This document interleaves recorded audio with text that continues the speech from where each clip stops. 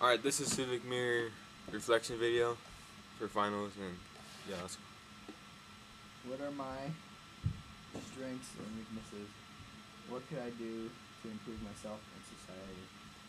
My strengths are that I spend money wisely and kind of have a backup plan just in case something would go wrong, like someone in my family would get sick or whatever, or like there be pollution by my house and like, or I'd get evicted or something like that. And my weaknesses were that I didn't really like make like have an income until the second year when I got to Senate. Um, and that was kind of like it wasn't really hurting my family because I started out with a big amount of money, and um, yeah, but like and once it comes to real life, I'll have to actually make money. How has this experience changed my attitude and outlook? It changed my attitude towards people because people could be like so selfish with their things. Like if they like like they own energy or something, they'll like they'll sell it for really expensive, and they'll be putting families in danger, like apartments even, and how many families live in there, and like people are just really selfish.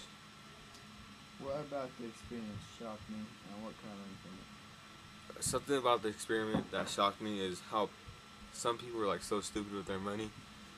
Like someone like just blew it all like the first day, and they didn't really have a lot, and they only ended up like I think it was like ten dollars, and um when you like when you're like just blow it all like blow all your money away and in real life and like end up with nothing then like it kind of turns into crime and all that stuff to actually get money What did I really begin to understand about law, government, and society?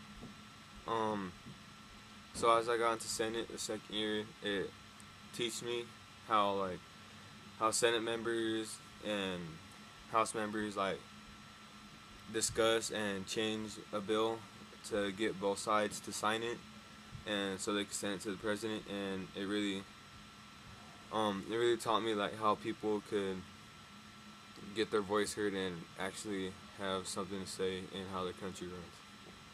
How, how has this experience prepared me for reality? This experience prepared me for reality because like it's like real things in there like food, um, housing and like actual sicknesses and stuff like that. And like when you have to like actually get these things in real life and like it like you try to like keep your family alive in real life and in this game. And this game is kind of like just like a good extra exercise to to get um like kind of get you ready and to get you smart with your money and stuff. What about the experience did I find frustrating, depressing, upsetting, and what kind of Um, things that upsetted me is right now I have energy hexes being redeveloped by my house, and there's gonna be pollution in the air, and one of my family members, and some of my family members will most likely get sick, so I have to. I have insurance, but it's only fifty percent covered, so um, that's kind of angers me, and things that frustrated me were were when people were being selfish with their like what they had when other people were struggling and people were just really selfish. Um so that's Civic Mirror video final um on the reflection. So yeah.